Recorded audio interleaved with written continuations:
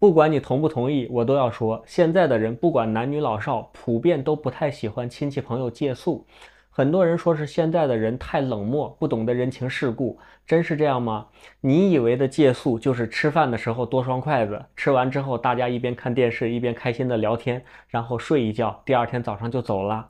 然而事实上并不是这样，亲戚朋友借宿要考虑的问题太多了。比如什么时候到，是坐火车、汽车还是自己开车？用不用接？自己要不要请假去接亲戚朋友了？那谁来接孩子放学？晚饭怎么吃？是去外面还是在家里？对方喜欢吃什么？晚上怎么睡？床上用品要不要先换一套？第二天亲戚朋友办事了，是请假陪同呢，还是自己去上班？洗漱用品要不要准备一套？家里是不是要先收拾一下？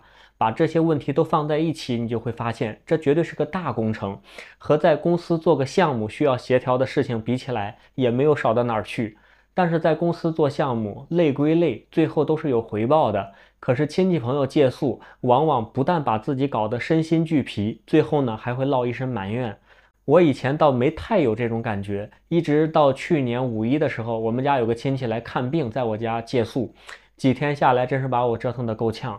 其实那几个亲戚我根本就不太认识嘛。一个五十多岁的妇女带着她的儿子，还有俩孙子。我妈妈说我应该管她叫姨，其实我看她也就比我大几岁。这四个人要说起来倒是挺热情，人看起来也不错，但是呢太没有界限感了，而且生活习惯在我看来我觉得有点奇葩。每次小便完都不冲马桶，他们给出的理由是小便没必要冲，浪费水。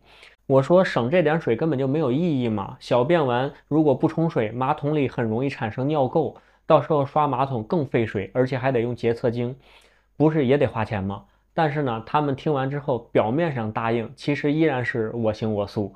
另外，可能是因为他们不像城市人那样需要每天按时上班下班，所以时间观念几乎没有。晚上一两点钟还在客厅看电视，声音还开得特别大。我说这是楼房，不是农村独门独院。这么大的声音会吵到邻居，嗯，明天邻居们可能都还要上班呢。结果呢，他们就说五一不是都放假了吗？根本不用上班。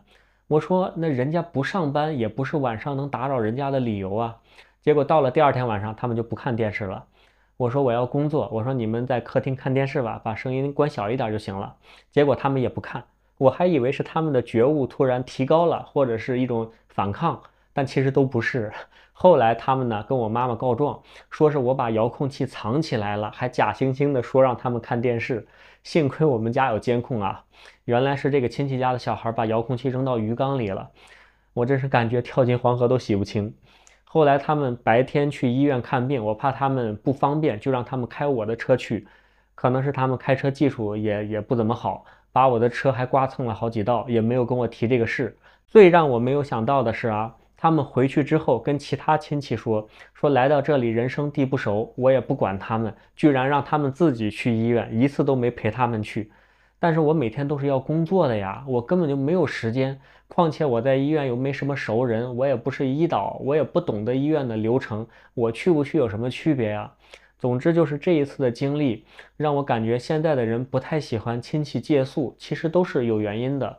首先，每个人的生活习惯就很难协调，呃，应该说是每个家庭吧，每家人有每家人的习惯，每家人有每家人的认知，这个认知是有很大不同的。严格来说，应该也没有什么对错之分。但是，当别人和自己的看法、认知不同的时候，就会觉得很难受。比如小便以后冲厕所这个问题，他们觉得不冲也行。要说呢，反正也不耽误活着，但是呢，我就觉得很难接受。第二呢，就是亲戚来借宿，往往会打破自己的生活惯性，让自己很累。